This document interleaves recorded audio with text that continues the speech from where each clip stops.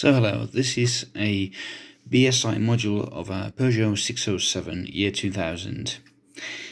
Uh, it, it, it is a, a Sagem module. Um, there you go. Yeah. And, ah, shit, let me, give me just a second.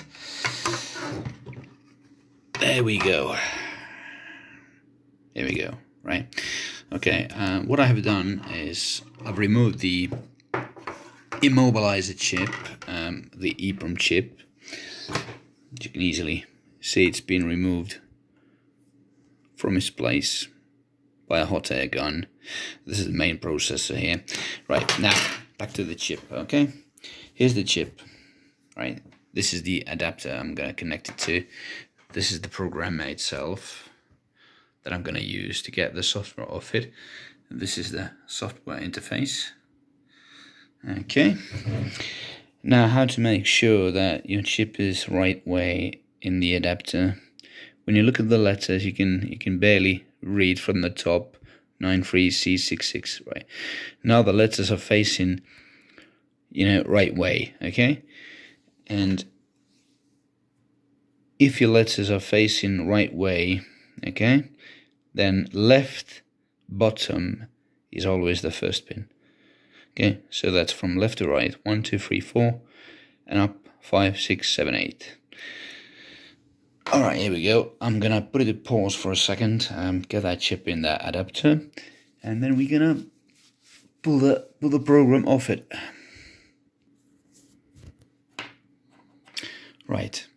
So now the chip is nicely in the adapter, okay? Right. Okay the device is on. Let's go and read it. First of all, um, let's make sure that we have the right chip. Okay, so we're gonna go to the preferences. We got, I have already found it, you see, yeah, that 9366.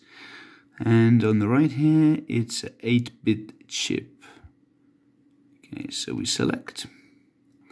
You see, right now it's just a basic here, empty. I haven't read it yet. Now I'm going to click read. and you know, watch what happens, okay? Well, of course, first you have to comply here. Um, if you have any issues with a connection to the chip, uh, they will come up here as um, red dots and notifications.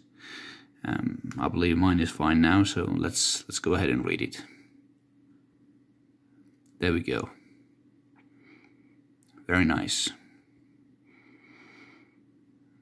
Okay, you can see the memory size. You can see, right? Uh, let's just uh, let's just verify it, shall we?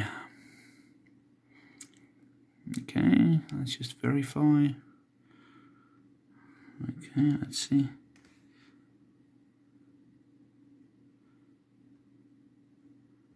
There we go. Verify passed successful. Very good.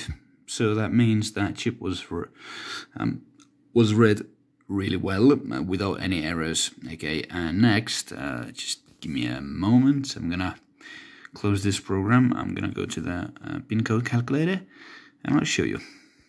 Here we go. Now we are back. So we have two different softwares to calculate the pin. Obviously, you've seen um, you've seen I've already tried before with a different dump. Um, anyways, I'm going to do it again just to show you all. Okay, see this is specifically for my model BSI 607 Z8 and 93C66. Right, let's select the dump file.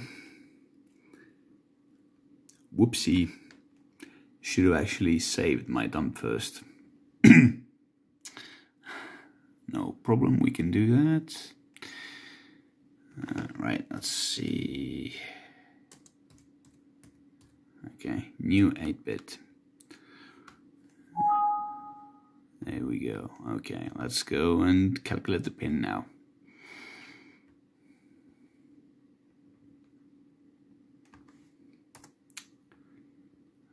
Uh, so where is it? Nope, not here.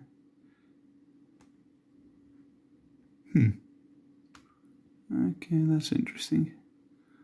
What the bloody hell is it? Let's Just give me a sec. Okay, I'm back again. Right. Now we got them two different software pieces open again.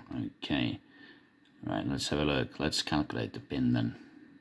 Let's see what we got here. We have 607 Z8 EEPROM 93 C66. Okay, here we go. Let's select the dump file. Uh, let's go there.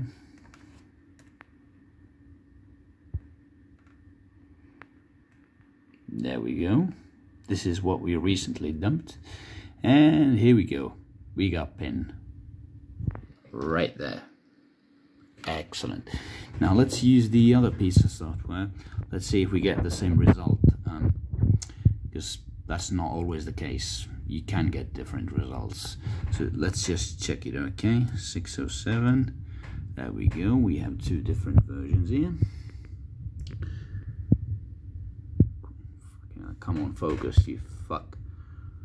Alright, here we go. Sagem, okay? This one. Now let's do it. Okay, so it asks us to select the dump.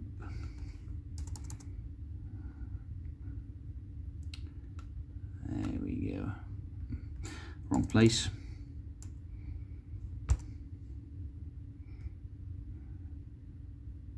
Ah, bloody hell. Oh dear.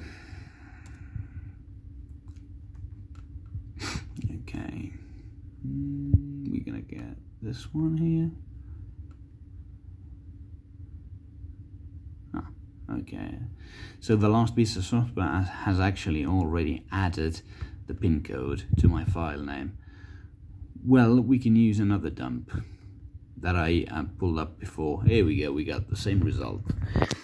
And um, uh, what's extra, we even got the pin code and the pin. But um, obviously nobody's going to steal my car. So there you go. Um, go ahead, take a look at it. Anyway, so this must be the correct pin. Anyway, now um, let's virginize the um, Immo chip. Uh, I have to think how I'm going to do it. Am I going to write all the F's mm, to the file? Which means I'm going to, uh, shall I replace uh, right, let's have a look how it's done, okay? See this program. If I do that, here we go. Now this is completely blank. If I write this back to the chip, there's no program in there whatsoever. Should I do that? Not quite sure. Should I just reset it with some piece of software? Probably yes. I'm gonna have to look around. Do I even have such piece of software? Anyway, thanks for looking. Bye. I'm out.